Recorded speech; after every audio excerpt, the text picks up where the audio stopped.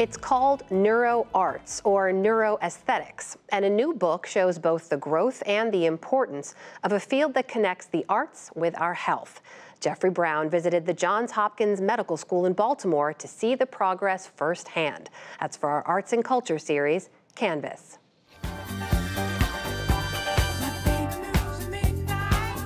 Groove into the Bee Gees. There you go. Good. Splashing in the sea as a dolphin. Taking a long look at a painting.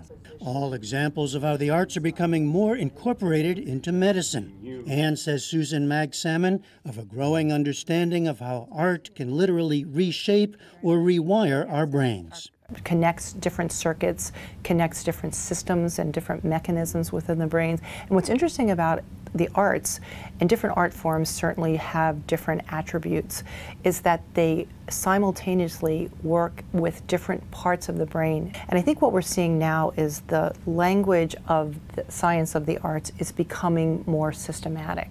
Magsamen is co author with Ivy Ross, a vice president for design at Google, of the new book, Your Brain on Art How the Arts Transform Us. The book is really very um, focused on understanding how our brains and bodies change on art and how, by knowing that, we can really think about our health and well being in ways that we might not have thought about it in the past.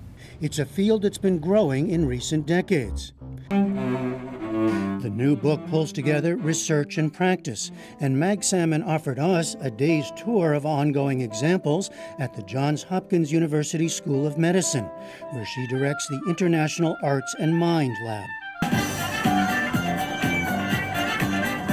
Enter the Bee Gees, or rather, Dr. Alexander Pantelyat a neurologist and himself a violinist who's studying the potential for improving memory loss experienced by Alzheimer's patients and others. We know that music impacts multiple networks in the brain simultaneously. Simply listening to a song can activate much of the brain at once. So therein lies the challenge of studying these uh, different patterns of activation and trying to separate them. Therein also lies the promise of what music can do for uh, people with different conditions and just for healthy aging more generally. I'll sing it for you, and if you recognize it, you can join. If you pick up the I don't recognize it.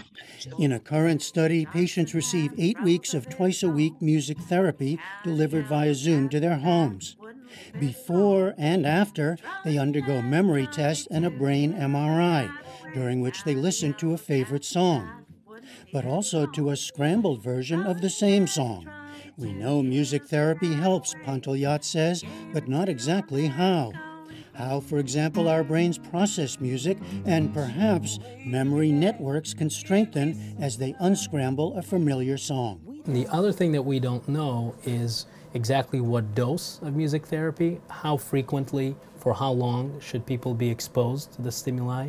And so uh, the actual application of music therapy we could determine. Exactly. This study is a short-term study. This is an eight-week music therapy intervention. What I really want to see next are larger studies conducted in multiple centers at the same time that take place over a longer period of time. If we do that, we will be able to see if these interventions can actually slow cognitive decline, slow memory loss. And that is really our holy grail. So when he turns his head, you'll have control. Okay. In a nearby building, another kind of creative therapy called iDolphin. Okay. In immersive animation in which stroke and other patients suffering loss of movement become a dolphin named. Bandit, with a sensor allowing them to swim freely in an eat or be eaten underwater world. In this case, Bandit was Logan Giles, a 25 year old suffering from a neurological disorder impacting the use of his arms and legs. You can play with a dolphin, you can eat all the fish, the sharks you want. Yeah, it's a really good distractor for all the stuff that's going on because people who play are generally going through stressful times. It's kind of an opportunity to leave the hospital room, leave this environment where you can't do anything, you can't get up, get down on your own and be successful in this moment. You're gonna bring that arm up really big, big, big, big, big, hold it till you reach the top. And then once you get there, you're gonna move like that, yep. And there's more, says occupational therapist Sandra Deluzio. Yep. Researchers are hoping the therapy can help retrain the brain and limbs to aid cognitive motor skills in a non invasive, even fun way. We're breaking the glass a little bit here because it's really a shift in what we traditionally do for patients, which is the traditional standard OT, PT, and speech, which is incredibly important. Mm. But this is different. We think that if we do higher loads of training in this early phase, that we'll have better outcomes, that we can optimize neuroplasticity. Yep. Um, but these patients are sick. And so it has to be done thoughtfully, it has to be um, smart, and it has to be done by the right people. Also a growing awareness of art's impact on the caregivers themselves, whether it's a short break for a bit of classical guitar or something more formal. I think that one of the biggest problems in medicine right now is that patients don't feel recognized by their doctors as people. But also there's contrasts here in what you might expect of uh, a lion being ferocious, right? And looking at, discussing, making art, says Dr. Margaret Chisolm, should be part of medical school education.